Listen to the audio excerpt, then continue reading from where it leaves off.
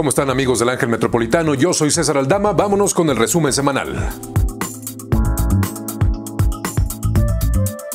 Después de la polémica que se armó y tras aguantar fuertes críticas por la reelección como presidente de la Cámara de Diputados, el político de 86 años, Porfirio Muñoz Ledo, anunció que siempre no, que renuncia al cargo.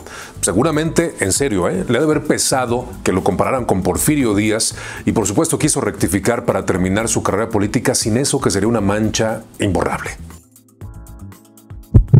Desgraciadamente tuvo que ahogarse un joven para que las autoridades de Xochimilco reaccionaran. El primero de septiembre, un muchacho poblano de 20 años murió al caerse de una de las trajineras en medio de otros jóvenes alcoholizados.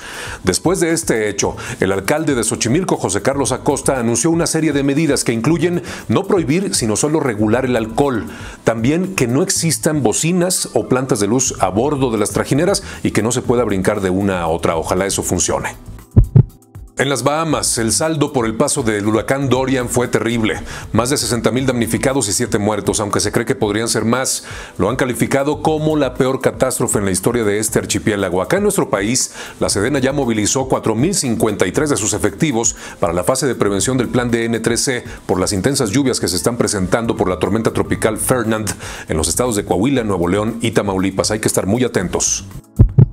Mire, yo creo que es porque aún no se entiende del todo bien cómo funcionan, pero hay quien dice que las impresoras 3D serán al siglo XXI lo que las locomotoras fueron al siglo XIX, es decir, que son un punto nuevo de partida, una nueva revolución industrial.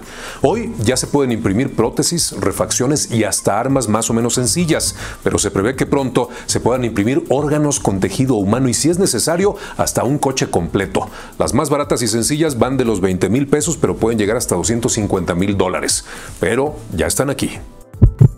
Ahí está la selección informativa de esta semana, pero a seguir para los próximos días, tormentas en el Golfo de México y seguimos esperando noticias de los juicios de Rosario Robles y el caso Lozoya. Si quiere más información, angelmetropolitano.com.mx. Chao, chao.